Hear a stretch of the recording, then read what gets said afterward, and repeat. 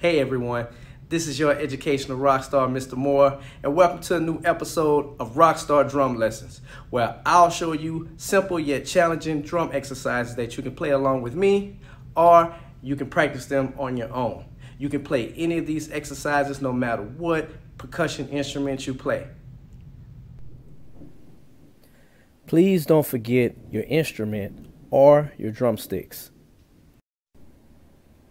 Please make sure that you have a practice drum pad as well as a metronome app.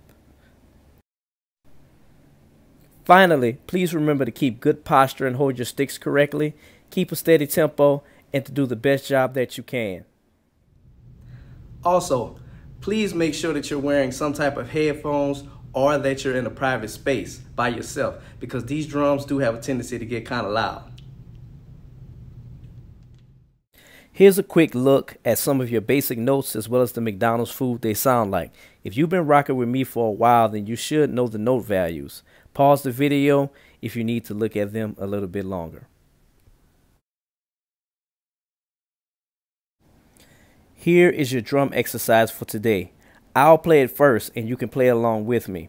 Then I'll leave the rhythm up so you can pause the video and practice it on your own.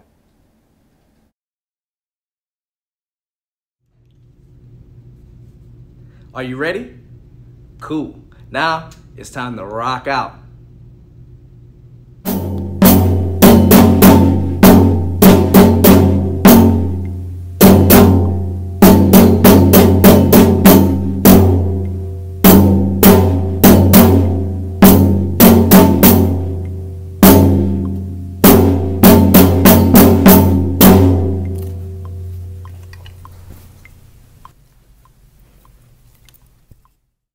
Now it's your turn.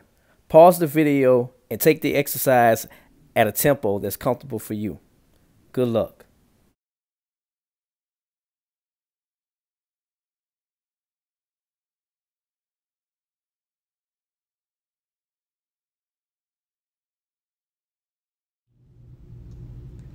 And there is your Rockstar drum lesson for the day.